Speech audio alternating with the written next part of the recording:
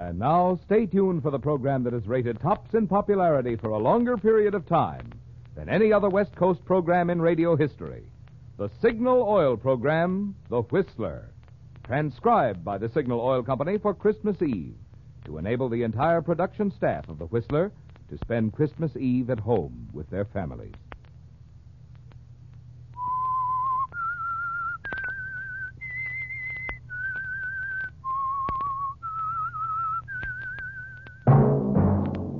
Signal, the famous Go Farther gasoline, invites you to sit back and enjoy another strange story by The Whistler.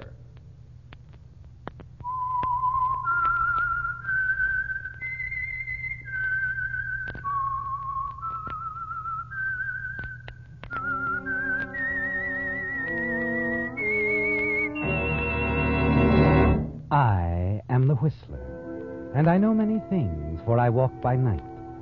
I know many strange tales hidden in the hearts of men and women who have stepped into the shadows. Yes, I know the nameless terrors of which they dare not speak. And now, for the Signal Oil Company, the Whistler brings you a most unusual story. One of the most heartwarming stories of our times, especially appealing this Christmas Eve. Three Wise Guys.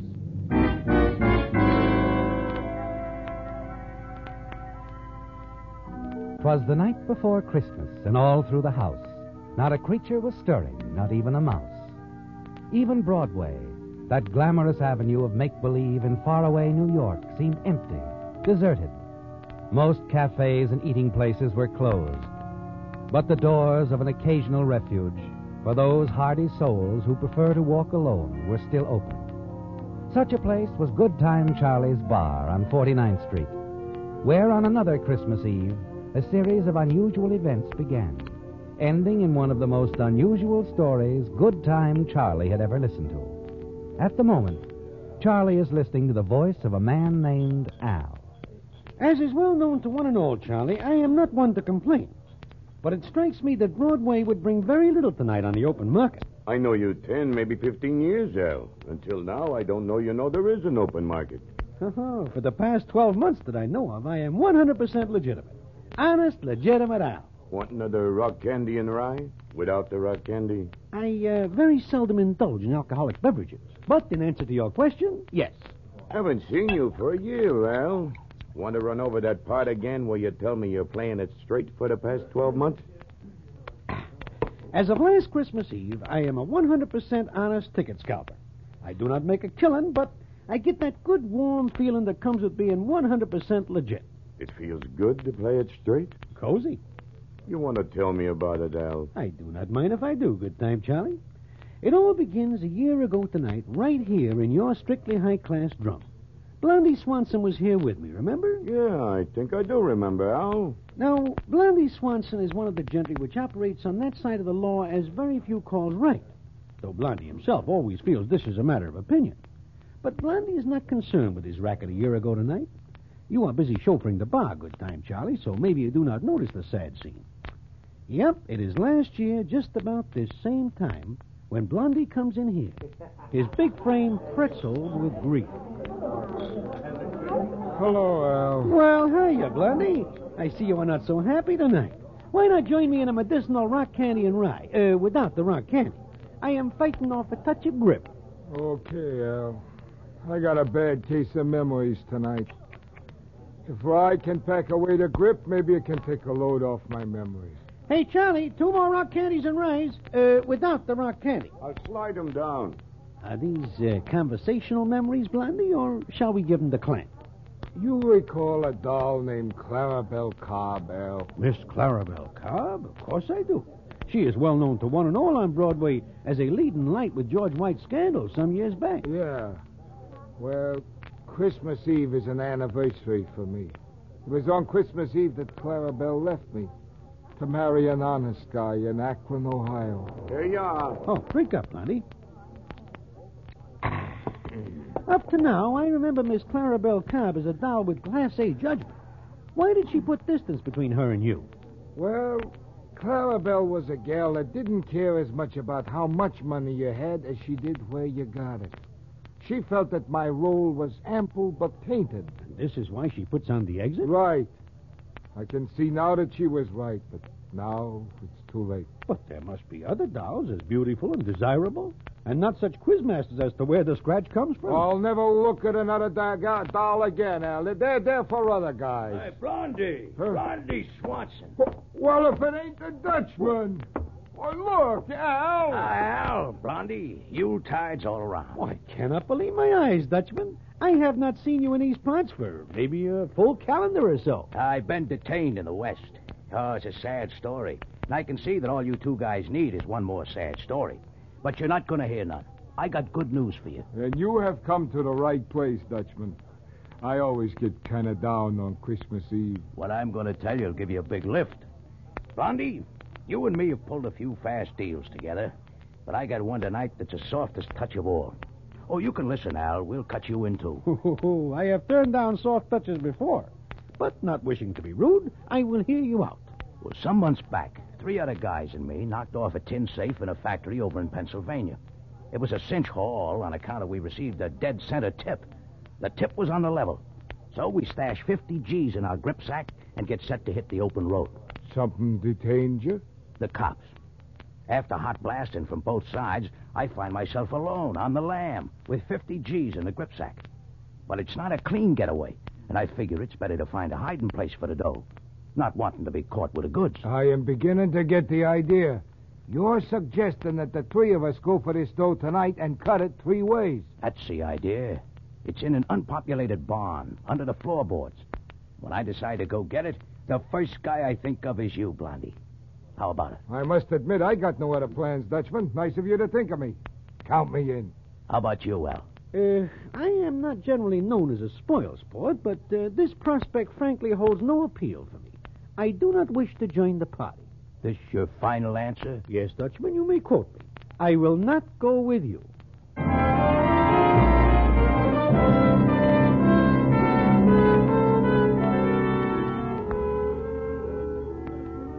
Well, good time, Charlie. That's the way it went. I am certain I will not leave your bistro that night. I am negative to the whole scheme, and I'm nixing it loud and clear to one and all. So imagine my surprise at some later point to find myself warm and cozy in the back seat of the Dutchman's ancient velocipede, dogging it through the snow-covered countryside. The whole setting is so peaceful, I am catching small doses of snooze. But in between times, I cannot help but overhear the upfront conversation of Blondie and the Dutchman. You sure this is the right road, Dutchman? Certainly, I'm sure. I can fly this road blind if necessary. You are not flying blind now, so you must have noticed that the radiator is percolating again. I think we better stop and take on another load of snow. Uh, guess we'll have to. But I sure hate these delays. Uh, Hey, Dutchman, listen. Must be coming from that little church. Yeah, yeah. Come on, help put the snow in the radiator. Sounds real pretty, that kind of singing. You think that's pretty? Well, you hear real music. The kind money makes when it's crisp.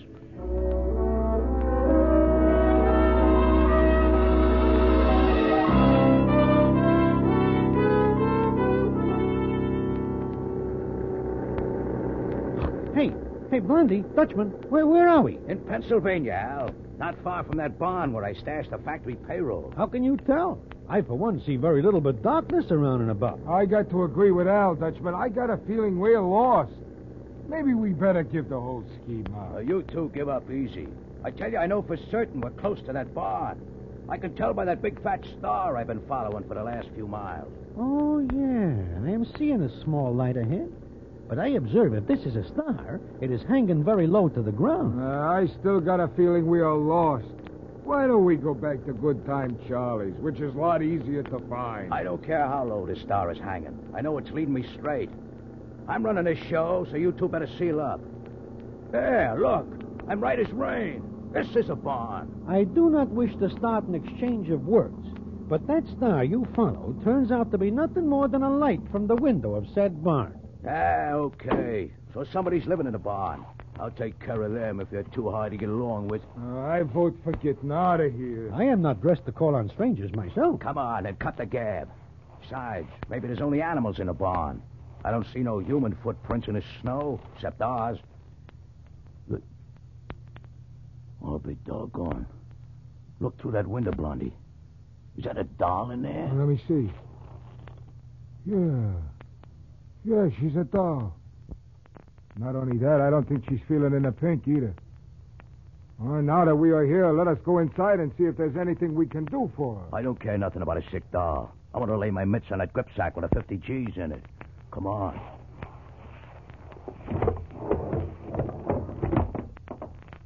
Who, who's there? Oh, who are you? We mean no harm. We. We. Well, for. If it ain't Miss Clarabelle Cobb in person.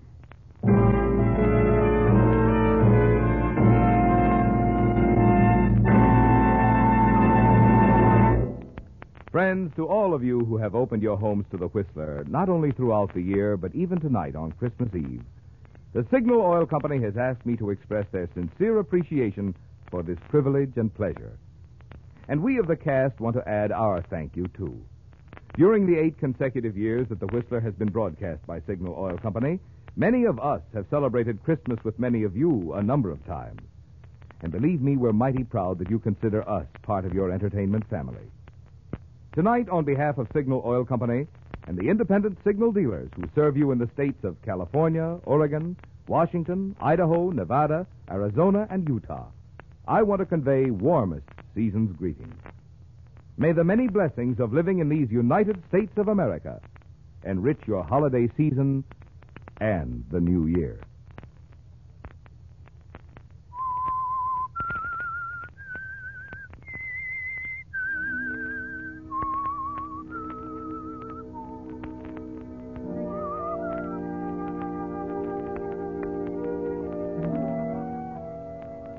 Yes, Al, that isolated barn in the snow swept Pennsylvania countryside, so far removed from Good Time Charlie's bar, where you're now enjoying Charlie's rock candy and rye without the rock candy, held a surprising development for you, Blondie Swanson, and the Dutchman, didn't it? The three of you had driven there that Christmas Eve a year ago to claim the $50,000 payroll the Dutchman had hidden there. The presence of Miss Clarabelle Cobb in the barn at your arrival was something not even her ex-boyfriend, Blondie Swanson, could fathom immediately. And you were even more puzzled than Blondie, weren't you, Al? Only the Dutchman seemed to have the faintest understanding of what it's all about. So you turned to the Dutchman. Dutchman, I am not understanding all this. Why do you not inform us? Listen, Al, you and Blondie better clear out of here for a while. Take a walk in the snow. I guess I'll have to take care of this doll. Huh? Uh, look, Dutchman, I haven't seen Clarabelle for a long time. If you think I'm going to leave her now and go for a walk with Al, you are nuts. Besides which, Dutchman, this doll is clearly at grips with some strange malady. I do not think it is polite the three of us should visit in this manner at this time. Listen, I came here to get 50 G's, not a sick doll and a lot of lip from you two. This won't take long, so blow. But, Dutchman. I'm getting fed up with you, Blondie.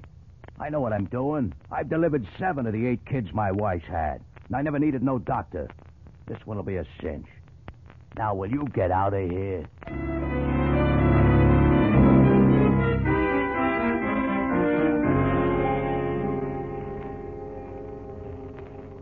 Eh, I cannot help but say this is quite a night for surprises, Blondie.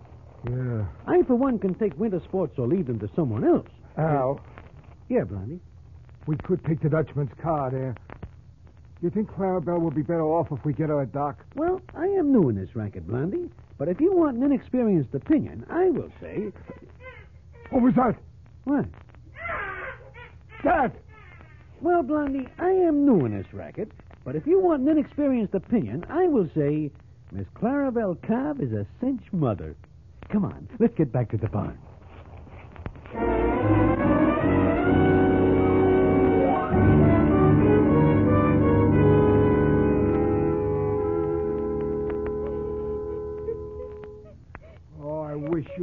Cry, Clarabelle.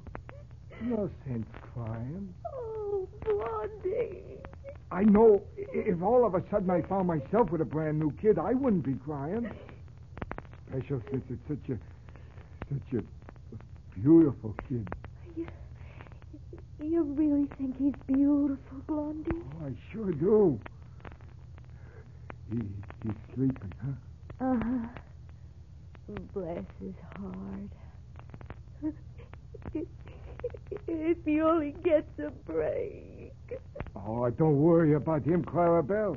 A, a, a beautiful kid like that, they love him in Akron. Oh, Blondie, there's so much I want to tell you. Yeah, but maybe you ought to straighten out yourself, huh? Not till I tell you, Blondie. You gotta know about everything. Why I'm staying here in Dr. Kelton's barn. About Joe, my husband. He's in such trouble, Blondie. He's in jail. Come on, Al. Let's go find the grip sack. I know right where it is.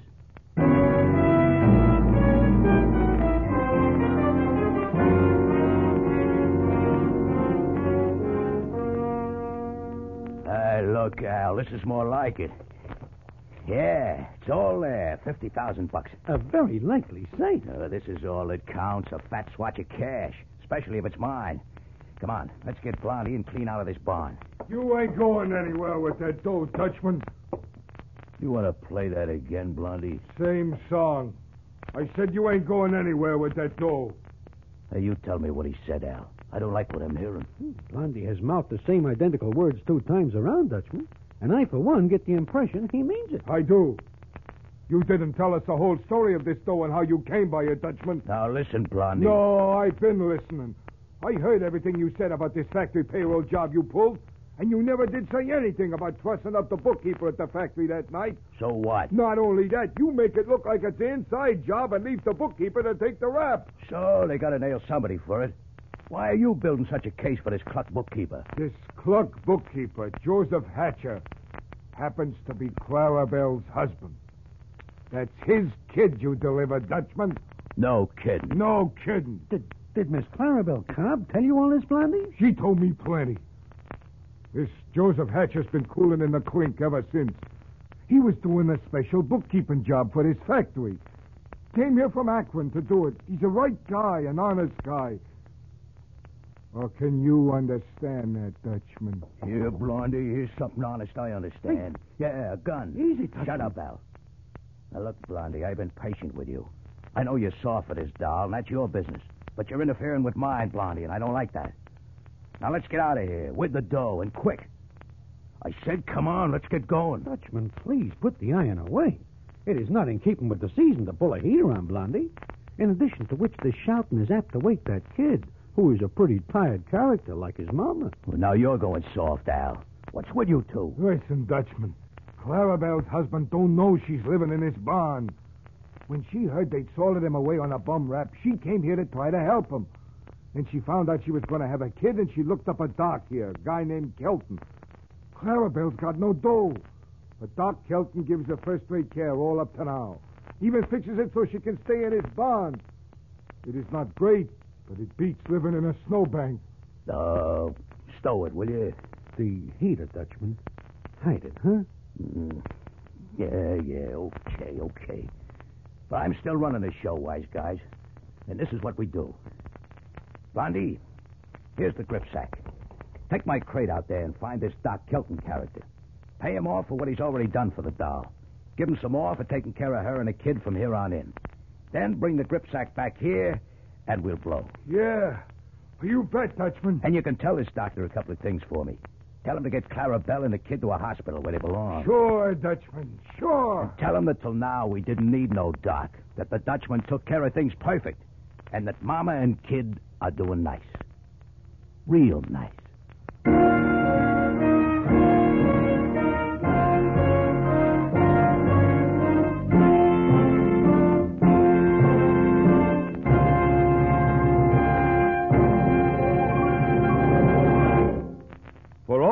Play canasta or have been thinking of taking up the game, there's a little Christmas gift for you at your nearest Signal service station. It's a 12 page booklet on that exciting new version of canasta, Hollywood three deck canasta, which is replacing the old two deck game practically everywhere it's been tried. In fact, Robert Lee Johnson, the only Pacific Coast member of the National Canasta Laws Commission, says of this game, you'll never know how much fun cards can be until you've played this exciting new three deck game. It has completely replaced two deck canasta with all my friends in Hollywood. And friends, the booklet I mentioned is written by the man who devised this new game. So the rules are both complete and authentic. Right now, in fact, this booklet is being sold by leading department stores in 32 states. But you needn't buy a copy. One is waiting for you free while the supply lasts at any signal service station. It is the hope of your signal dealer that this fun packed new version of Canasta will add to the card playing pleasure of your holidays.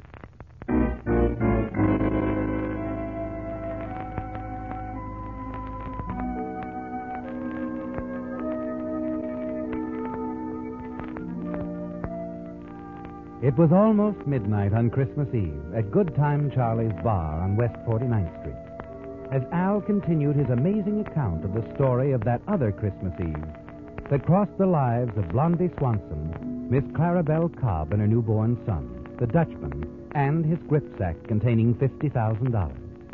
As Al continued talking to Good Time Charlie, a faraway look came into his eyes. So you see, good time, Charlie. It is no more than small wonder that since all this takes place a year ago this very night, me, Blondie, and the Dutchman have settled down to 100% legitimate endeavors. Yeah, sure, and why not? A three-way split on almost 50 stolen G's is a cinch beginning to this straight and narrow. you are laboring, as they say, under a misapprehension, good time, Charlie. I see now where it is only fair I tell you the rest of this story.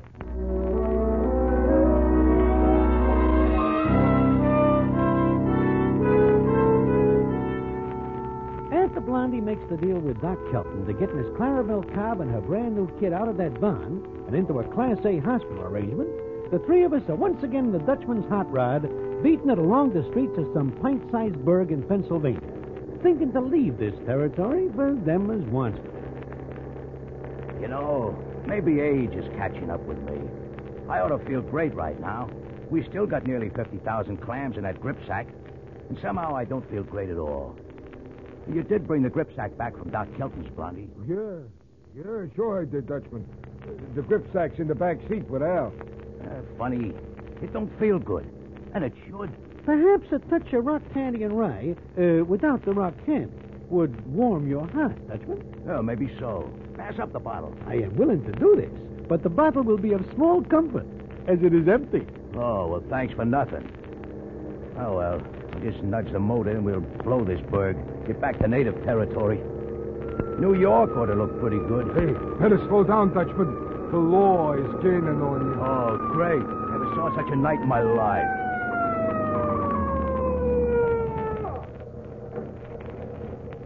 That light back there was no Christmas tree ornament. You should have stopped. Uh, sorry, officer. And you're in a church zone clearly marked for 20 miles an hour. 40 is too much. Was hurrying home for Christmas, officer. Carrying toys for the kiddies in this tub, huh? I'll bet. I better have a look around.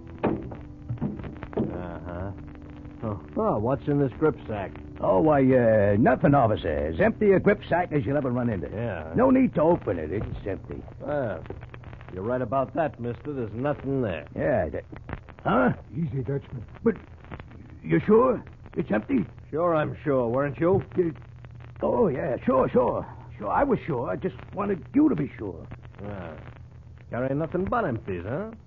You guys empty this bottle all by yourselves? Uh, this bottle is once full of medicine, officer. I myself have been warding off a touch of the grippe. I am now um, in the pink, as the saying goes. Oh, wise guys, huh? Three wise guys. You know, if it weren't practically Christmas, I'd haul you in. Go on now, get out of our town. Oh, yeah, and Merry Christmas, three wise guys. Uh, yeah, yeah, same to you.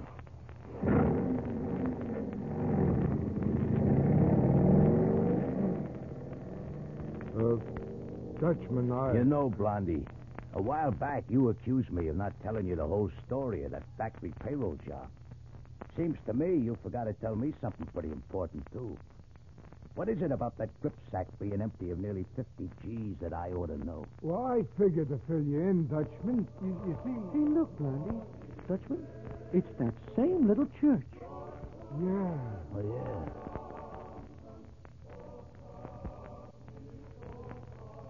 You know something? It's a miracle. I don't know yet what happened to that nearly 50 G's in the grip sack, but if that copper had caught us with that dough, we'd be on our way to the clink right now. An astute observation. Yeah. Well, you see, Dutchman, when I called on Doc Kelton tonight, I left all the dough with him, the whole 50 G's. I told him to give it back where it belongs. I told him enough more that the doc is sure he can spring Clarabelle's husband out of jail. So him and Clarabelle and the new kid can be together. Say, this, uh, this Doc Kelton is a right guy. Oh, I'll say he is. Well, he even agreed to give us a head start for the Pennsylvania border before he notifies the law. This is a right guy. Yeah, and we better oblige the Doc and ourselves by making a border ahead of the cops.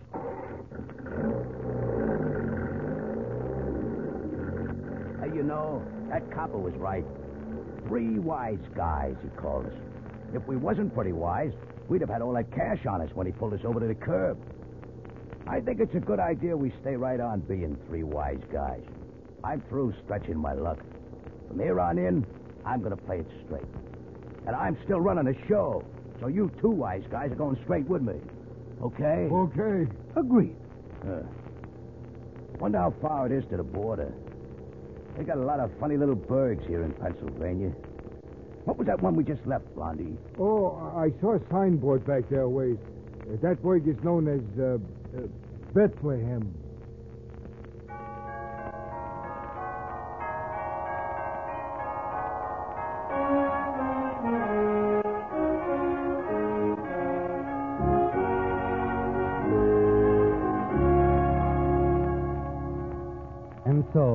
Night before Christmas, in Bethlehem, Pennsylvania, three wise guys were strangely touched by the spirit of the season.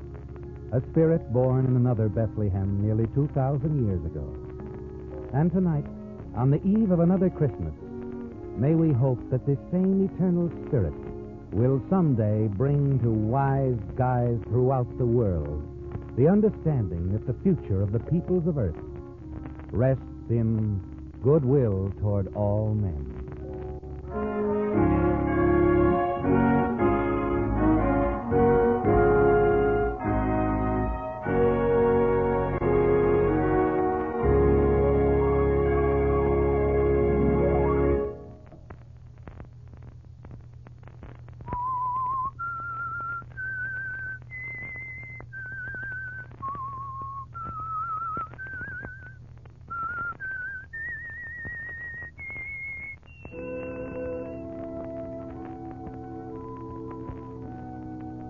Let that whistle be your signal for the Signal Oil program, The Whistler, each Sunday night at this same time.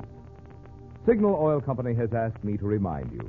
This week, it's especially important to drive at sensible speeds, be courteous, and obey traffic regulations, so some avoidable accident doesn't mar the holiday season for you.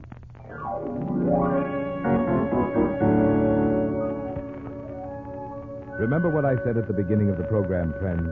That you'd find tonight's story unusual and heartwarming? Now, wasn't I right? I'm sure many of you recognized it as one of the late and great Damon Runyon's most famous tales. The radio adaptation was by Kathleen Hite. Featured in tonight's story were Bill Forman, John Brown, Marvin Miller, and Jack Moyles. The Whistler was transcribed and directed by George W. Allen with music by Wilbur Hatch and was transmitted to our troops overseas by the Armed Forces Radio Service. The Whistler is entirely fictional, and all characters portrayed on The Whistler are also fictional. Any similarity of names or resemblance to persons living or dead is purely coincidental. Remember at the same time next Sunday another strange tale by The Whistler. Marvin Miller speaking for the Signal Oil Company.